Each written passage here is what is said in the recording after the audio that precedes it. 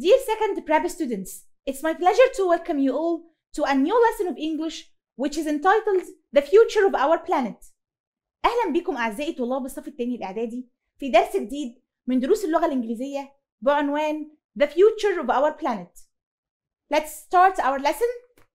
هنبدأ هنا بالفوكابلري ليست. هعرف الأول معاني الكلمات. picnic معناها نزهة. A meal eaten outdoors. هنا البيكنيك دي أنا بعمل فيها إيه؟ باخد معايا الأكل وأطلع أكله في مكان مفتوح. يعني بره البيت. picnic. fortress. fortress معناها حصن. A large strong building or group of buildings that can be defended from attack. بعمل هنا مبنى أو عدة مباني قوية تقدر تحميني من الهجوم. ده كان بيتعمل في العصور القديمة عبارة عن حجارة بتبقى عالية جدا تقدر تصد أي هجوم من أي معتدي. fortress. نبدأ بعدين history معناها التاريخ. A branch of knowledge that records and explains past events. تسجيل وهو فرع من فروع المعرفة بيهتم بتسجيل وشرح الأحداث القديمة. Salt Lake معناها بحيرة مالحة. A landlocked body of water that has become salty through evaporation. ده جزء من المية أصبح أكثر ملوحة بسبب التبخر. يعني الشمس بتبقى متركزة على المكان ده أو بتبقى على طول فوق المكان ده فوق الجزء ده من المية فبيحصل له evaporation. evaporation يعني إيه؟ يعني بيتبخر. طب إحنا اتفقنا إنها أصلا مية مالحة salty water فإيه اللي بيحصل؟ المية بتتبخر وبيبقى مين عندي؟ السالت اللي هو الملح. Read the postcard and answer the questions. هنا هبدأ أقرأ البوست كارد وأسأل وأجاوب. بص معايا كده. It's an old old fortress in سيوة. ده حصن قديم قوي موجود في مدينة سيوة. Dear نهلة, I'm having a fantastic time with my family in سيوة. بتقول لها أنا بقضي وقت حلو جدا في سيوة. We had a picnic on Fatanas Island. قالت لها إن إحنا عملنا بيكنيك خدنا الأكل وأكلناه بره في جزيرة اسمها جزيرة فتناس. ناخد بالنا هنا I'm having دي present ها continuous عشان هي لسه بتقضي وقت ممتع إنما هنا بتحكي عن حاجة حصلت خلاص فاستخدمت الباست simple we had at the moment في هذه اللحظة بتحكي عن حاجة بتحصل دلوقتي. I'm sitting by the water and watching the sunset. في الوقت اللي أنا بكتب لك فيه البوست كارد ده أنا قاعدة جنب المية وبشوف غروب الشمس. It's very beautiful. ده شيء حلو جدا. While staying with my parents' friends and they are very kind. قالت لها إحنا قاعدين مع أصدقاء لبابا وماما وهم ناس طيبين جدا. طب اتفقنا كده؟ What's this? Possessive S. طب أنا هنا حطيت لي ال apostrophe بعد ال s عشان ده plural noun. في الاسم الجمع بحط ال apostrophe بعد ال s parents friends. أصدقاء لبابا وماما. وهنا عرفت منين إنها possessive S ده noun وده كمان noun. ده اسمه اسم. فهنا بتقول إنها قاعدة مع أصدقاء لوالديها وإن هما ناس طيبين جدا when we arrived the day before yesterday لما إحنا وصلنا أول امبارح day before yesterday يعني أول امبارح وهنا في الباست لأنهم خلاص وصلوا it was very late it was very late كان الوقت متأخر جدا they still wanted to get up and make us dinner كانوا مصممين إن هم يقوموا يعملوا لنا عشاء and they bring us fresh dates for breakfast بيجيبوا لنا كل يوم بلح. طازج أو بلح. fresh كده للفطار. yesterday morning امبارح الصبح we visited Shali fortress. Shali fortress. إحنا زرنا شالي fortress يعني زرنا حصن اسمه شالي وهنا برضو in the past form إحنا زرناه خلاص. And the Siwa museum. يبقى هما زاروا حاجتين حصن شالي ومتحف سيوة I have always wanted to go there. أنا دايما كان نفسي أروح متحف سيوة. I learned such a lot of history in one morning. أنا عرفت كتير قوي من التاريخ في نفس الوقت. اتفقنا إيه هو؟ ال history ده ده علم بيهتم بالإيه؟ بال past events tomorrow هتبدأ كده تتكلم عن الارrangements الترتيبات. We are going to visit the Siwa Salt Lake. إحنا هنروح نزور البحيرة المالحة بتاعت سيوة. I'm looking forward to visiting it. It sounds really interesting. قالت لها أنا بتطلع لزيارتها. أعتقد إنها شيء مثير وممتع جدا. Lots of love. هبة. يبقى هنا مين اللي كاتب ال postcard هبة. وبعتها لمين؟ لنهلة. يبقى ده اسمه. sender يعني الراسل. ودي اسمها ريسيفر يعني اللي بيستقبل البوست كارد Now it's time to answer the questions. Where is Hiba now? ما قلنا at the moment. She's in سيوة. تمام. What is she doing? هي بتعمل ايه؟ She is sitting by the water and watching the sunset. هي دلوقتي قاعدة جنب المية وبتشوف الايه؟ الشمس. Who is she staying with? هي قاعدة مع مين؟ She's staying with her parents' friends. طب ناخد بالنا هنا كده من apostrophe s. تفتكروا دي possessive دي بتاعت الملكية؟ طب هنا she ده pronoun. تمام كده؟ اللي هو ال subject طب تمام. طب و stay ده verb. إحنا اتفقنا. اللي بيجي من pronoun أو noun and verb. يبقى إيه abbreviation for is. طب وهنا parents تمام حطينا ال apostrophe دي هنا ليه عشان ده plural وده هنا noun وده noun بقت possessive s Let's move to the next slide. Why does she think her parents' friends are kind? تفتكروا ليه هي بتقول عن أصحاب باباها ومامتها إنهم طيبين؟ Because Heba and her family arrived very late, but the friends wanted to get up and make dinner, and they bring fresh dates every day. هي بتتكلم هنا عن استقبالهم ليهم، إن هبة وأسرتها وصلوا متأخرين جدا، بس أصدقائهم دول كانوا مصممين إن هم يقوموا يعملوا لهم عشاء. وبيجيب لهم إيه؟ بلح طازج كل يوم. What did she do yesterday? هي عملت إيه امبارح؟ They went to Shali Fortress and the Siwa Museum. راحوا كلهم لحصن شالي ومتحف سيوة. What is she looking forward to doing tomorrow هي عايزة تعمل إيه بكرة She's looking forward to visiting the Siwa Salt Lake يبقى هي عايزة بكرة إنها تروح تزور البحيرة المالحة بتاعة سيوة. هنا بيقول لي find time expressions in the postcard for the following.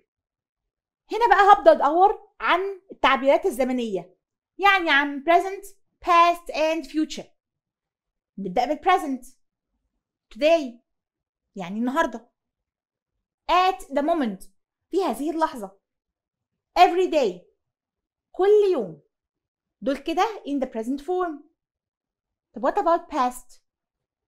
The day before yesterday. يعني أول امبارح. Yesterday morning. امبارح الصبح. طب what about future? Tomorrow. بكرة. Read and correct the underlined mistakes in these sentences. مطلوب مني هنا أصحح الأخطاء في الجمل دي. Yesterday it was very hot and we are visiting the ruins of a temple. امبارح كان الجو حر جدا وإحنا are visiting ruins يعني اطلال أو يعني مكان شبه مهدود بتاع الايه المعبد it was yesterday إحنا كل الكلام ده بنتكلم في time expression in the past ينفع أحط معاها are visiting لا هتبقى visited number two at the moment في هذه اللحظة we stay in a small hotel near the lake at the moment يعني present في هذه اللحظة إحنا قاعدين في اوتيل جنب البحيرة طب تبقى هنا إيه present continuous تبقى are staying my cousins arrived at lunchtime tomorrow at 11 a.m. إحنا كده بنعمل ترتيب بميعاد زمني هتبقى إيه present continuous are arriving. I looked forward to watching the stars in the desert this evening. أنا بتطلع إن أشوف النجوم في الصحراء هذا المساء. تبقى present simple تبقى I'm looking. Put these time expressions in order from the past to the future. أنا هنا هبدأ أرتب التعبيرات الزمنية من الماضي للمستقبل. In three days time واتفقنا إن دي في غضون ثلاث أيام at the moment في هذه اللحظة the day before yesterday أول امبارح tomorrow بكرة yesterday امبارح هنا هو عايز يبدأ from the past to the future أول حاجة the day before yesterday أول امبارح وبعدين امبارح yesterday وبعدين at the moment في هذه اللحظة. يبقى أنا بدأت بالحدث الأقدم اللي هو أول امبارح. بعدين نزلت شوية لامبارح وبعدين في هذه اللحظة. نبدأ ندخل على الفيوتشر tomorrow يعني بكرة. Or in three days time يعني في غضون ثلاث أيام.